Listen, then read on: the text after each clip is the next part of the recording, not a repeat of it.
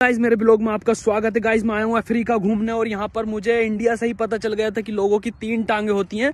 तो कुछ गरीब हैं उन लोगों की मैं मदद कर रहा हूँ उनकी टांगों पे तेल रगड़ रहा हूँ मालिश कर रहा हूँ। बीच की टांग थोड़ी कमज़ोर होती है यहाँ गोल गोल है पता नहीं आकार क्यों बदला हुआ है। भैया भैया यहाँ लोगों के जूते दो क्यों है? टांग तीन होने के बाद भी। टांग ना है। लोड़ा है?